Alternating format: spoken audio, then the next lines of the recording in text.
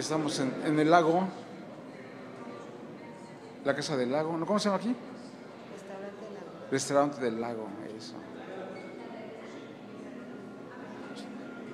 Usted no va a salir, a a menos de que me dé permiso. Ahí está ya, rapidito.